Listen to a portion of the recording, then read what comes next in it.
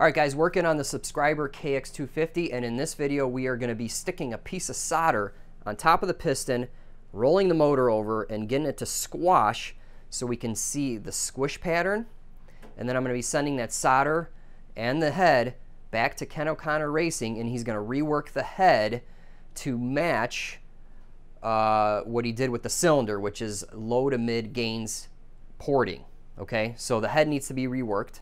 And reason being is he chopped a little bit off the base of the cylinder, so the cylinder is going to sit lower, piston's going to be higher, and also a certain squish is required to get an engine uh, running perfectly, and you can adjust the squish to get the desired results. I don't really know much about it, but this is something I need to do, send to him, and then um, that will be the complete port job, okay? Okay, so to measure squish, or at least provide some information to the machine shop, is um, we need to come up with some solder pieces in this shape. We'll lay it on top of the piston in line with the wrist pin. We'll install the head in the motor and we will roll the motor over or just up and down a little bit and the solder will squash to a certain distance and then I'll ship these pieces and the head to Ken O'Connor Racing and he'll finish off the porting job, if you will, because remember, he took off the base of the cylinder, so this may get tighter or whatever, but he also will reshape this to get the power delivery that, uh, you know, is supposed to happen with this porting. Okay, so this is the old piston just for uh, demo purposes, but you're going to want to use the piston that you intend to use in the engine. Okay, so that's the new Wiseco that I bought from, from Ken. Next up, you're going to need eighth inch diameter acid core solder. Okay, so I'll have a link to this below. It's super soft and it's going to squash, and basically we need that, right? Um, you need the base gasket that you're going to run. The cylinder is torqued. I have an O-ring style head, so O-rings, you don't have to install those because those are supposed to squash metal to metal. Okay? Gonna need the dowel pins and all the bolts and don't need to torque it, just get it nice and tight, right? But anyway, let's go over how I made this solder piece. So you just get a nice length, I don't know, about that long, okay? And then you kind of just shape it. So we'll go here, bend it up, bend it over.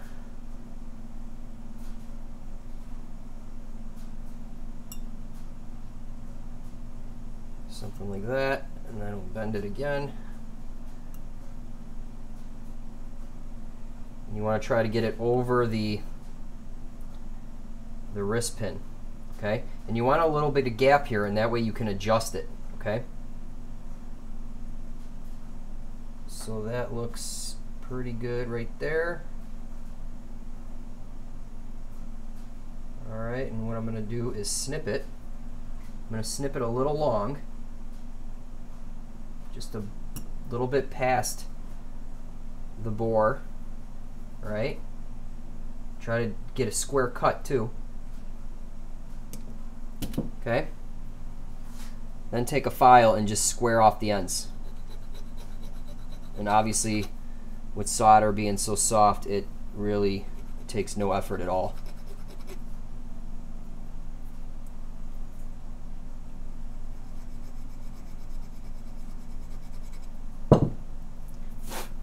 Okay.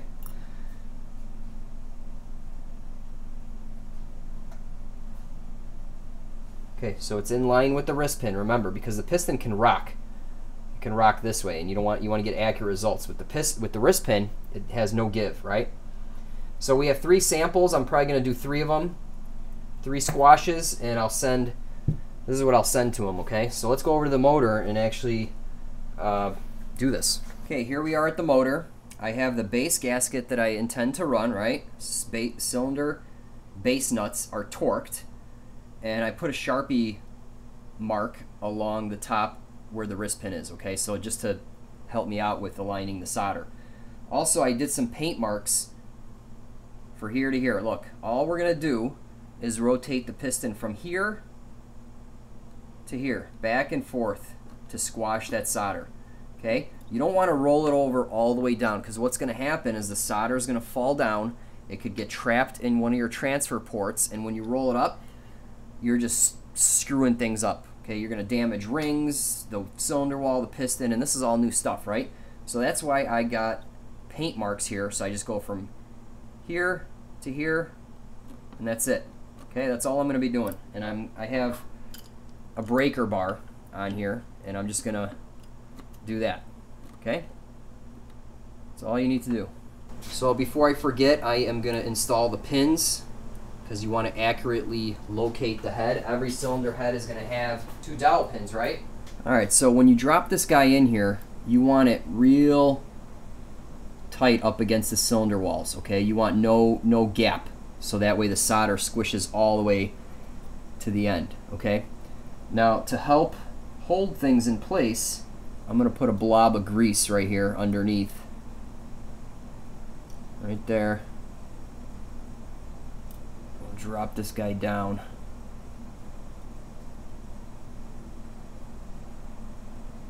And that grease will just hold it in place, okay?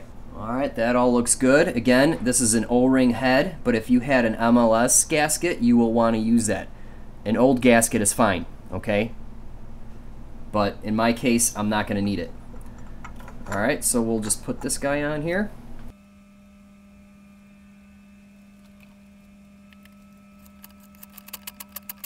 Okay, I didn't torque the head. It's tight. I mean, for what we're doing, we're just squashing some solder.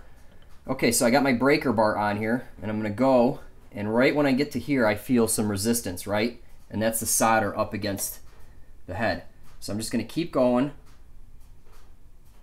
yeah, there's there's some resistance. I'm squashing it, right? And then once I get to this point, it just popped through. Okay, so I'm just gonna go back and forth a couple times.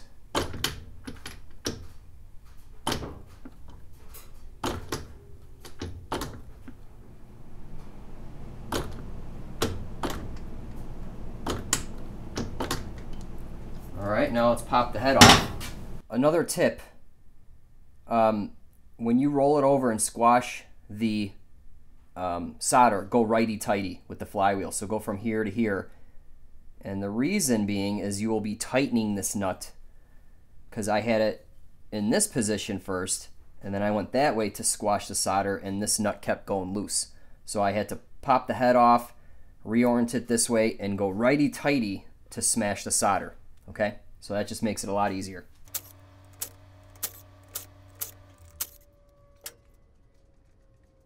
Alright, so I took the head off and here's what it looks like.